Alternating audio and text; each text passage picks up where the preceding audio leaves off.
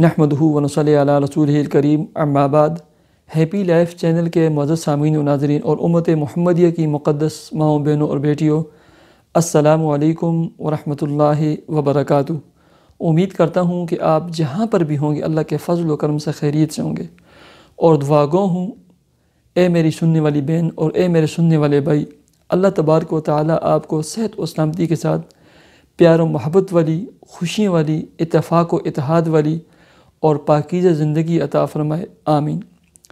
پیارے سامعین و ناظرین، وسعت رزق کے لیے، وسعت کاروبار کے لیے، کاروبار میں برکت کے لیے، کاروبار میں ترقی کے لیے اور عروج کے لیے بہت ہی بہترین قسم کا عمل، وظیفہ، طریقہ میں آپ کی خدمت میں پیش کرنے لگا ہوں۔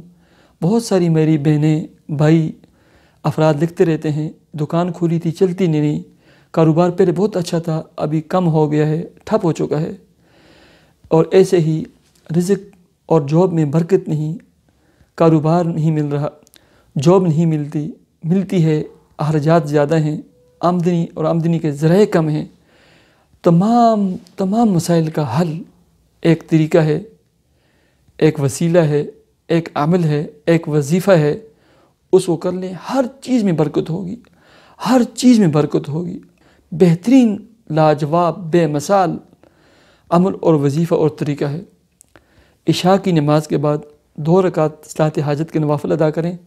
یاد رکھیں، اگر آپ کامل برکت چاہتے ہیں تو اس عمل اور وظیفے کو عشاء کی نماز کے بعد بالکل تنہائی میں یکسو ہو کر کریں۔ دو رکعت صلاحت حاجت پڑھیں، اس کے بعد قبلے کی طرف اسی حالت میں بیٹھیں اور سو مرتبہ پوری توجہ کے ساتھ، پورے وسوق اور یقین کے ساتھ یا یا وہابو پڑھیں، یا وہابو یا وہابو، اے رزق دینے والی ذات، اے میرے اللہ، اے اولاد دینے والے اللہ، اے جوب اور ملازمت دینے والے اللہ، یا وہابو یا وہابو، اے میرے رزق میں برکت عطا کرنے والے اللہ، ایسے یا وہابو اور ایسے تصور کے ساتھ سو مرتبہ پڑھیں۔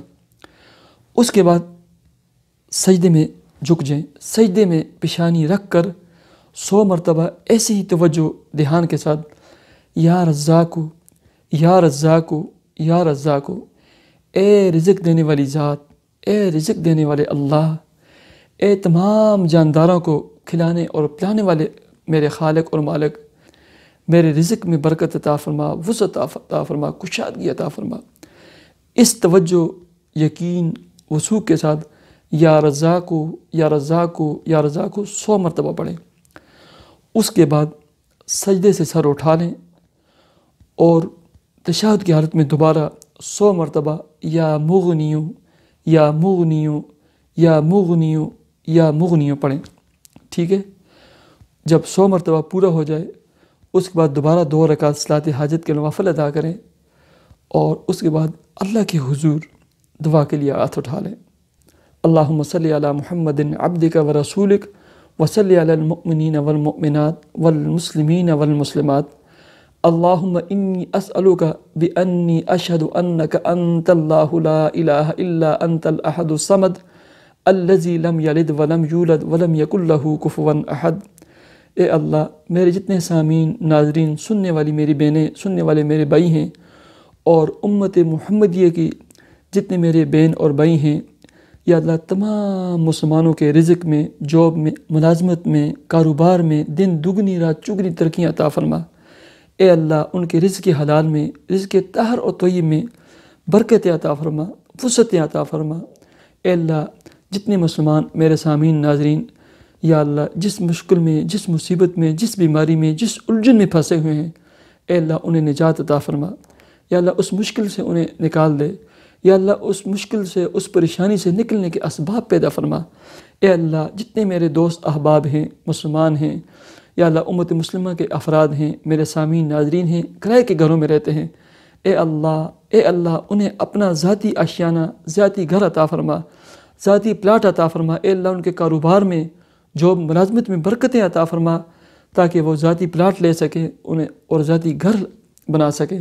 اے اللہ اے اللہ، جتنے افراد ہیں، جن کی اولاد نہیں، انہیں نیک سال اولاد اولاد نرینہ عطا فرما۔ جن کی اولادیں ہیں، انہیں نیک سالے بنا دے۔ والدین کا دست بازو اور آنکھوں کی ٹھنڈک بنا دے۔ اے اللہ، جن کی اولادیں ہیں، نافرمان ہیں، انہیں نیک سالے بنا دے۔ اے اللہ، جن بین اور بھائیوں کے نکاح اور رشتے نہیں ہوئے۔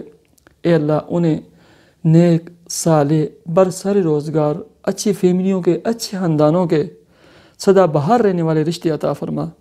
یا اللہ، میری بہنیں سن رہی ہیں، میرے بھائی سن رہے ہیں۔